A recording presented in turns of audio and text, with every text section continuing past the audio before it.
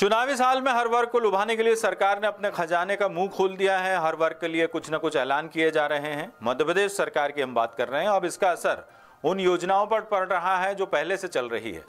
चौवन दिन पहले प्रदेश सरकार ने मोबाइल पशु चिकित्सा यूनिट योजना शुरू की थी और इसका हाल ये है कि डीजल और दवाओं के फंड के अभाव में ये गाड़ियाँ अब खड़ी हो रही है। इसके पहिए थमने लगे हैं। देखिए हमारी संवाददाता रुचि वर्मा की रिपोर्ट। आज वो दिन आ गया है। जब एंबुलेंस केवल इंसान के लिए नहीं होगी, गो माता के लिए भी होगी और अन्य पशुओं का भी इलाज करना होगा। 12 मई को भोपाल के लाल परेड ग्राउंड से मुख्यमंत्री शिवराज सिंह चौहान ने 406 मोबाइल पशु चिकित्सा यूनिट को हरी झंडी दिखाई मोबाइल पशु चिकित्सा यूनिट को शुरू करने का मकसद था जरूरतमंद किसानों के घर तक पहुंचकर पशुओं का इलाज करना। इसके लिए 150 रुपए का चार्ज तय किया गया था।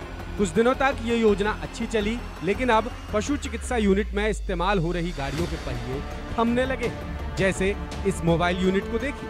भोपाल ज़िले में तीन वाहन दिए गए हैं, लेकिन काम कर रहे हैं केवल दो, क्योंकि ये यूनिट खराब है। दूसरी ओर इस योजना में बजट के रूप में केंद्र का हिस्सा 60 फ़ीसदी और राज्य का हिस्सा 40 फ़ीसदी लेकिन केंद्र सरकार का बजट मिला ही नहीं। ये योजना जो है सेंट्रल गवर्नमेंट की स्कीम है भारत सरकार की तरफ़ से 60 प्रतिशत और 40 प्रतिशत का आ, सहयोग इसमें मध्य प्रदेश शासन के द्वारा दिया जा रहा है। तो ये 60 40 वाली योजना है। योजनाओं में फंड की ज़रूरत के हिसाब से जो राशि उपलब्ध कराई जा रही है डीजल की और आ, मेडिसिन की एक वाहन में एक माह में पैंतीस हज़ार का औषधि और तैंतीस हज़ार रुपये की डीजल की आवश्यकता होती है। जो प्रत्येक ज़िले में, मध्य प्रदेश के प्रत्येक ज़िले में जिला पशु रोगी कल्याण समिति के माध्यम से उपलब्ध कराया जा रहा है। यह शासन में मध्य प्रदेश शासन का अंश है। भारत सरकार से जैसे ही अनुदान प्राप्त होता है तो ये राशि वापस समायोजित कर दी जाएगी।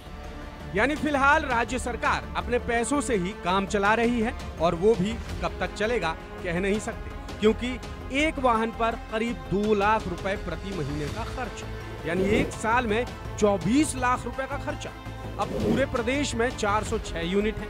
इस हिसाब से महीने का खर्च है करीब 8 करोड़ रुपए और साल का खर्च है करीब संतानवे करोड़। केंद्र ने पैसा दिया नहीं तो राज्य के पास केवल पाँच महीने का बजट बचा हुआ है। पशुपालन विभाग फंड के लिए चिट्ठियाँ लिख रहा है। साथ ही जो स्टॉक है, उसके लिए कोई बैकअप भी नहीं पिछले दो महीने से पूरा स्टाफ बगैर छुट्टी लिए काम कर रहा है। ऐसे में सवाल यही है कि क्या बगैर किसी प्लानिंग के योजना शुरू कर दी गई थी? द सूत्र की खबरों को देखने के लिए प्ले स्टोर और एप्पल स्टोर से डाउनलोड करें हमारा ऐप द सूत्र आप हमारी खबरें द सूत्र डॉट कॉम पर भी देख सकते हैं। Social media platform Twitter Facebook और इंस्टाग्राम पर भी हमें फॉलो कर सकते हैं। साथ ही यूट्यूब पर भी हमें सब्सक्राइब करें।